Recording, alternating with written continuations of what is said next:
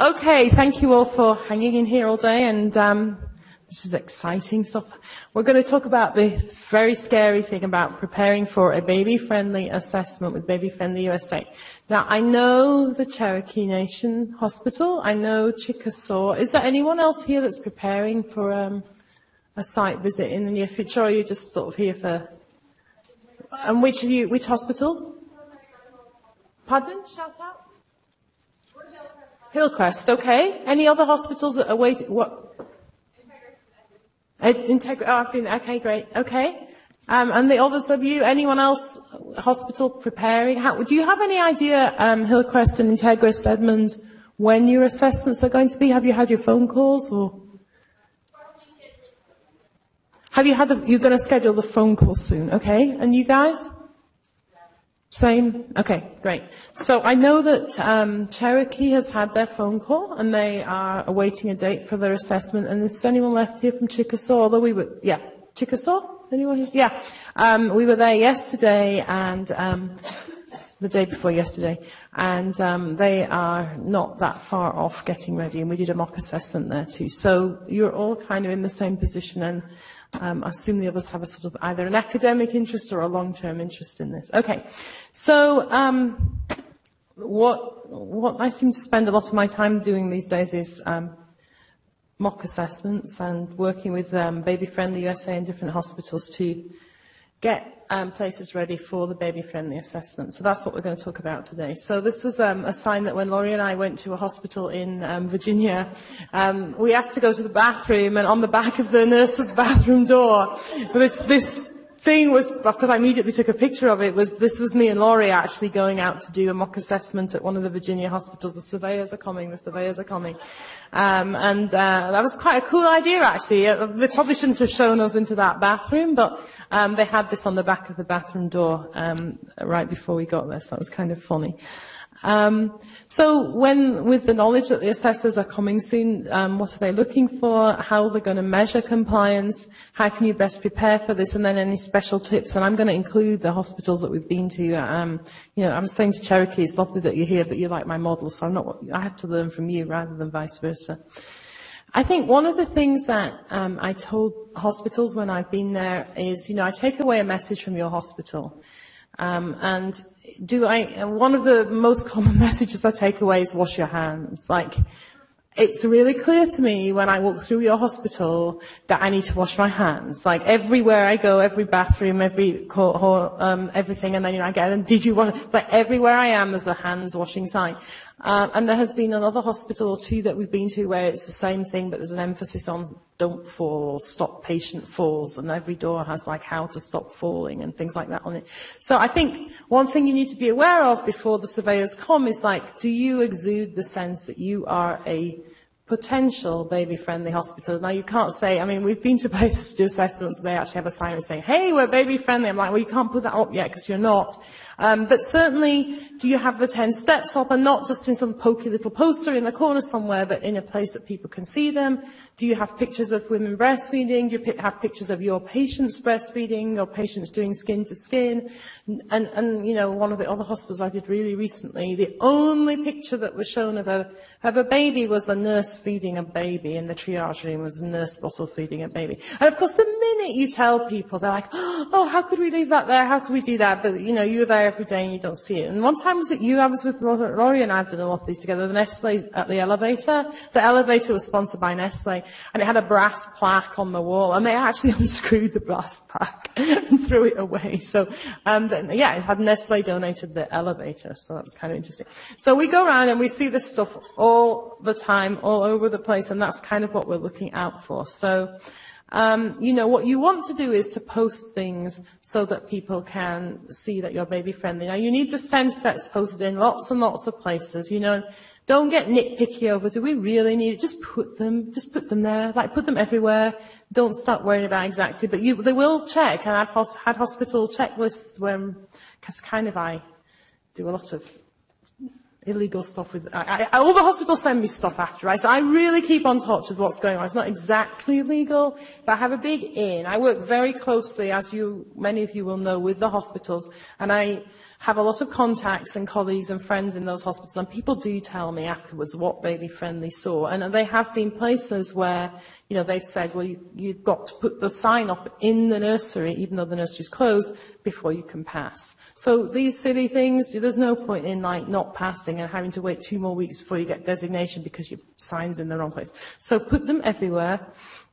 Um, um, my favourite story about a really annoying The most, this is, well, yeah, I was working with um, the state of Montana. I did a couple of consults with them for um, a couple of their hospitals, and one's really, really stuck. Um, they've been in the dissemination phase for three years.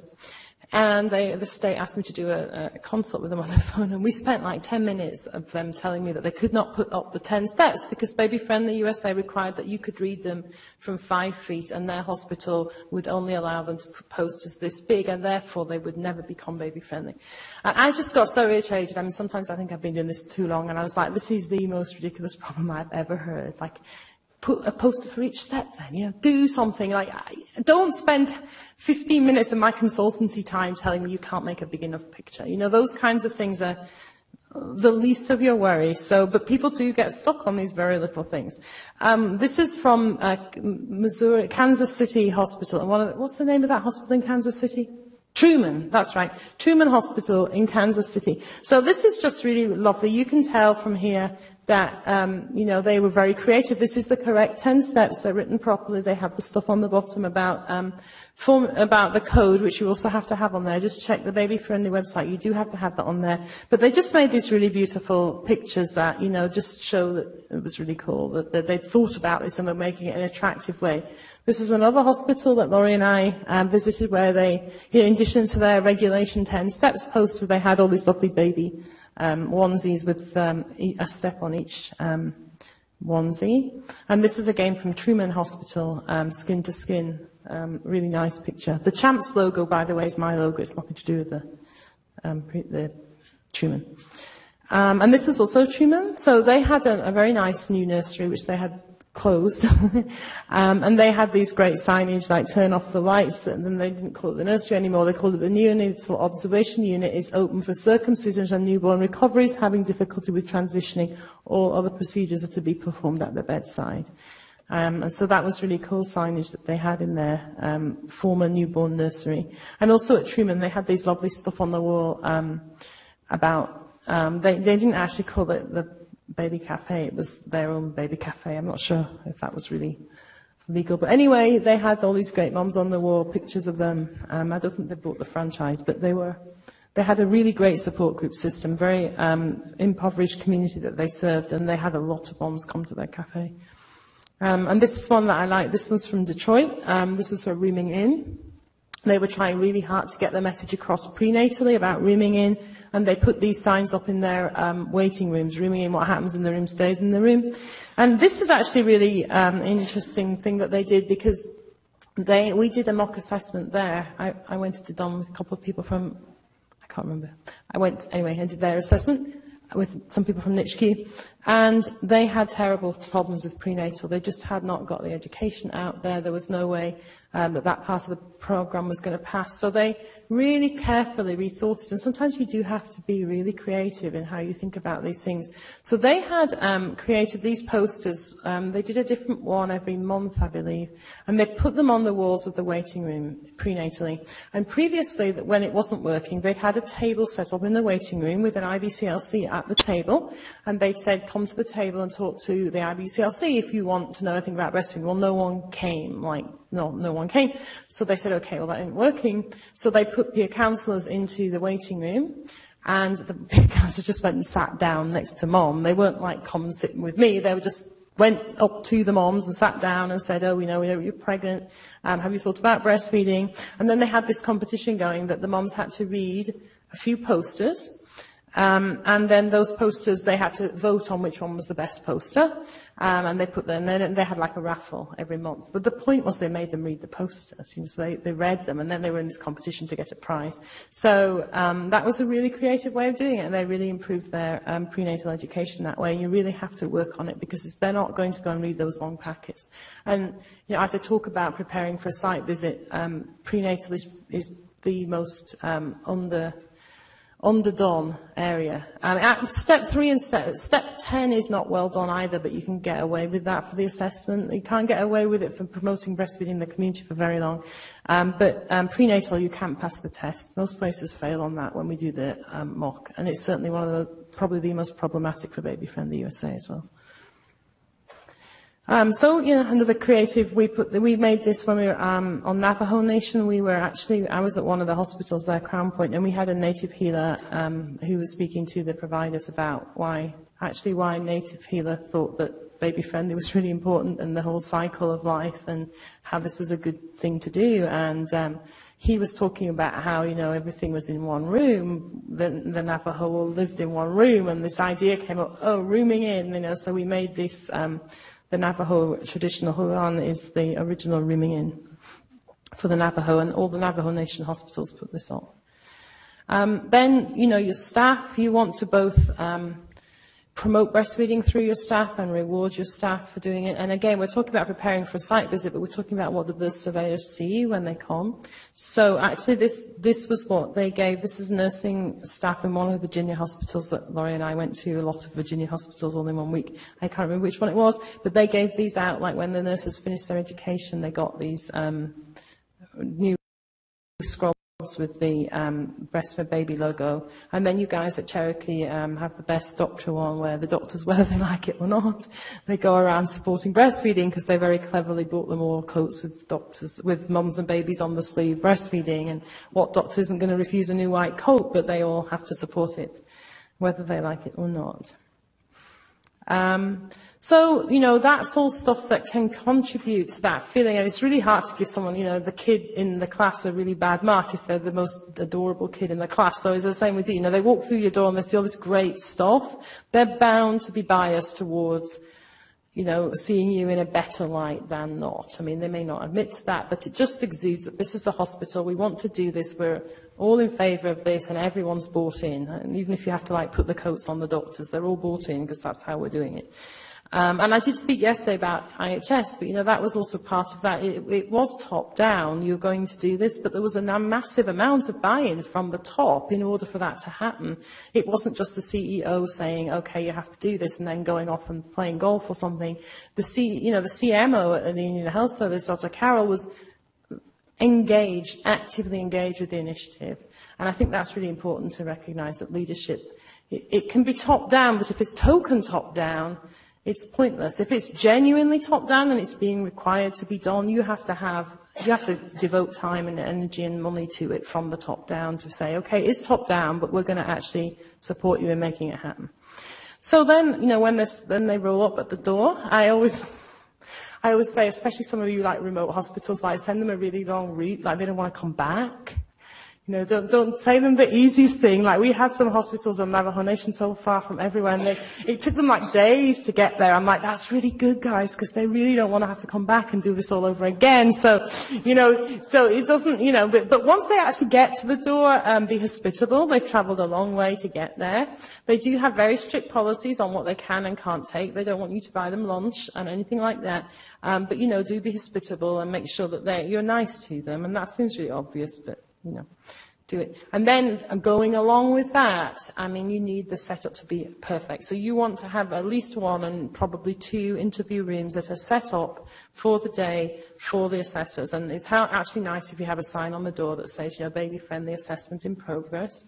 Um, and then you want to make sure you have tools. There was a very interesting um, baby at Chickasaw. and one of the things I recommended to them is go buy some new babies because I wouldn't want to have a baby if I saw this doll. Um, so, you know, get, and, and also it shows buy-in. I mean, prenatal, quite often the prenatal clinics, we don't tell you when we're coming to a mock assessment, make sure there's a baby in your prenatal clinic. We want to know that you've got one. And we ask on the assumption you're going to have one. And if you don't have one in the prenatal clinic to teach breastfeeding, then how are you teaching positioning to prenatal moms? I mean, it doesn't make sense. Like, how could you do that without a doll?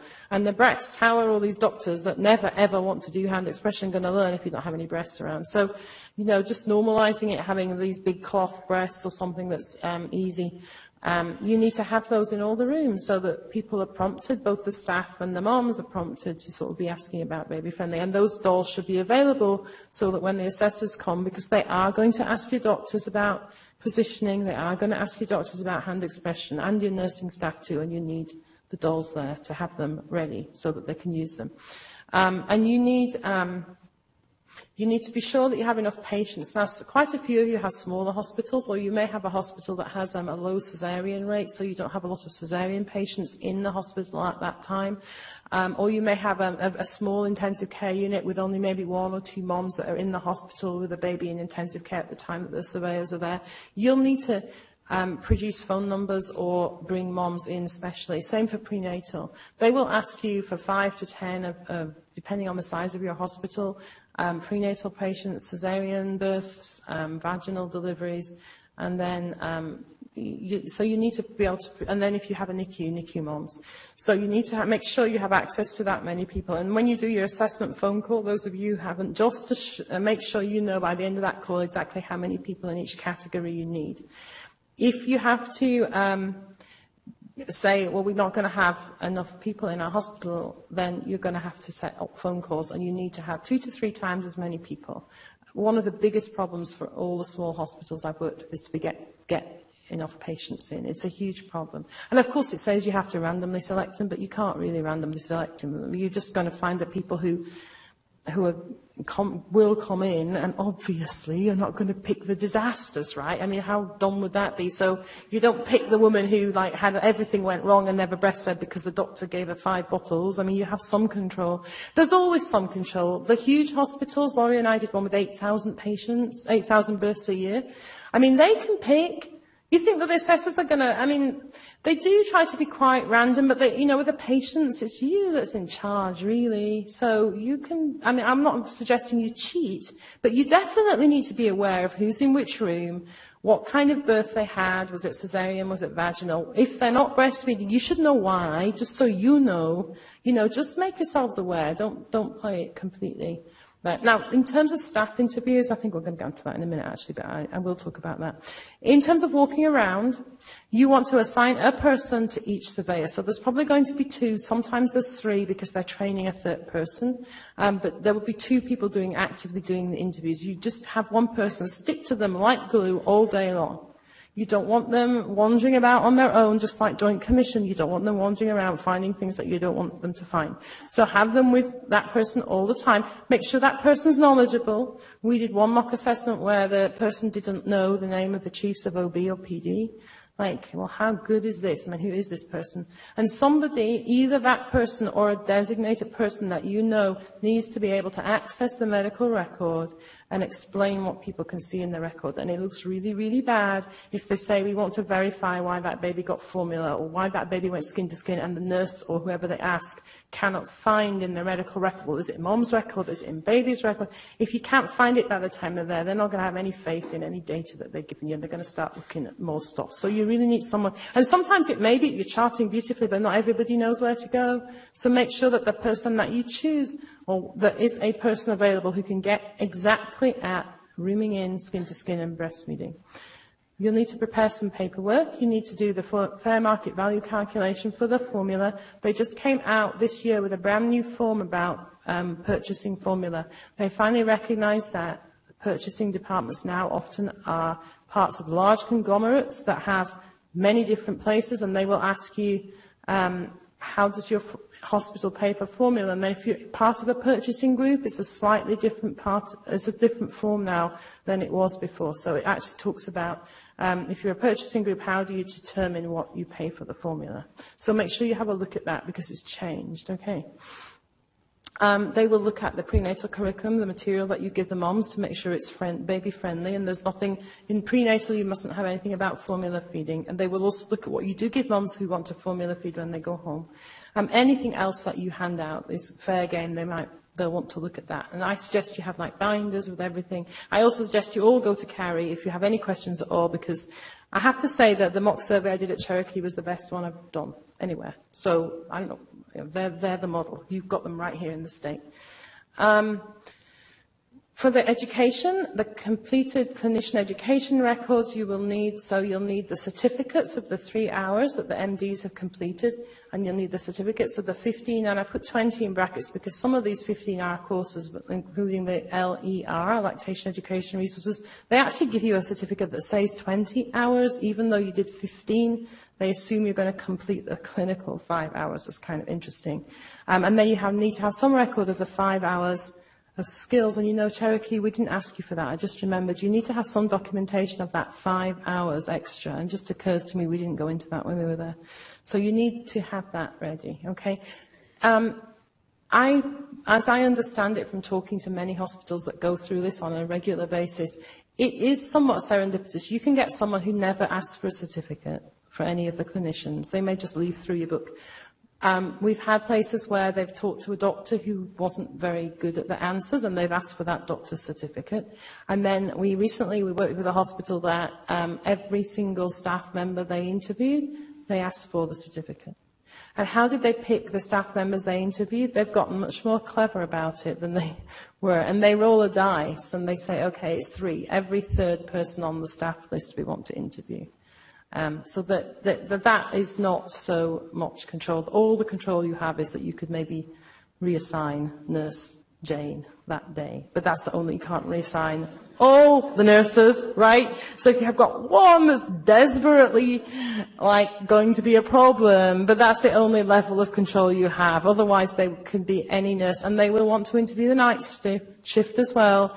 Um, you probably have a little more control over that because they don't come in at three in the morning. They come in either late in the evening or early in the morning to interview the night shift, and they will need to see people from the night shift, um, which tends to be a little bit more catch as catch can. But yeah, that's how they set it up. Um, when you walk into the room, if you have a room, um, a table set up like um, Cherokee did, like this, I don't think I hardly ever saw this anywhere else. Again, it's impressions. You think, oh, these people know what they're doing. They're really well organised. You know, they, they have a plan here. You know, there's other places we've gone where there's only been like two people when we've gotten there and we're like, well, do you guys even like know? You know, and, this is one reason I like working with all these different kinds of hospitals. It's not predictable. The, the two people one could just as easily be a really big academic medical centre. It, you know, I, I say you don't have to be a great hospital to become baby friendly. You don't have to be. In fact, it's more difficult sometimes to get these big academic medical centres to even like deign to speak with you than it does some of the smaller ones that have a little bit more heart. So um, just look good when they come. You know, be prepared, have everything ready, and um, it just makes. They, they even have like folders for everybody. It's just great. That's the kind of thing you need to do. Um, if you're a nurse manager or management, you need to be able to answer the questions that they would ask the clinicians. So you do need the breastfeeding knowledge. You need to be able to identify um, who's responsible for ensuring that the policy is implemented. You need to be able to locate the infant feeding policy. Not all hospitals, even though they have an infant feeding policy, the clinicians didn't know they have an infant feeding policy. A recent hospital I visited didn't know it existed. They're like, oh, nurses might have one. They didn't even know. So you need to be able to Find it, know where it is, orient your staff to it before they get there, okay? In terms of the policy and Baby Friendly USA, Baby Friendly USA will hopefully have signed off on your policy before they walk through the door. Early in the process, they look at it, they tell you what changes they make, and then just not long before they come back, they ask you to send it in, and they will make sure it's okay. Now, I have had a couple of hospitals where they've changed small things, and luckily there were small hospitals, or there were big hospitals with um, CEOs who are very like, okay, we'll just do it type places. But there have been one or two places where it's been overlooked. But usually they, you should, you should have your policy all set. You know, they should have signed off on it. There's a policy checklist right at the end there, and hopefully that's not, they don't want to walk through the door and they have to start with the policy change. So um, you should have it ready before they come. Um, you need, the, the management needs to be described, to be able to describe how staff and new hires are oriented um, and show how, uh, this is directly from the Baby Friendly USA website how the adherence to the infant feeding policy is monitored. Um, so then the other data is, the other information is like, so what do they like base this entire thing on? Whose data? What are they looking at? So your breastfeeding and your compliance rates matter, and that they will go through with you guys at the interview. And actually, Carrie, you had your interview last week. I mean, they correct me if I'm wrong, because it's always someone, you know, uh, a little serendipitous, but as I understand it from my experience, they um, ask you for your data on breastfeeding rates, they ask you for your skin-to-skin data, and they ask for your rooming in data. And when I heard this once, they said you can take it from your chart, your patient audits, or your best estimate. That's, yeah. So you can guess, but they won't get you very far if you guess wrong and then they come and go. Did you have to add something? They asked you how many bottle feeders? Oh, because they were just the reverse equation, right? Right. Hmm? There was some trick. Okay, we'll ask you to come. I'm going to ask you to come down at the end and just add a bit. Yeah. So, um, so they, so they will ask you for that data. It's a fairly grueling interview, right? I mean, you guys passed with flying colours, but it's not that straightforward. They ask you for a lot of stuff at that interview. And the way I recommend you do the interview is that you have a couple of people who are really knowledgeable who answer the questions. But if it, say it's your nurse manager and, um, you know, your postpartum unit supervisor or something, and then you might want to have a prenatal clinic person in the room at the same time so that if something comes up at prenatal that you don't know the answer to, they do. So I wouldn't have 10 people speaking, but I would certainly have people from all areas at least present.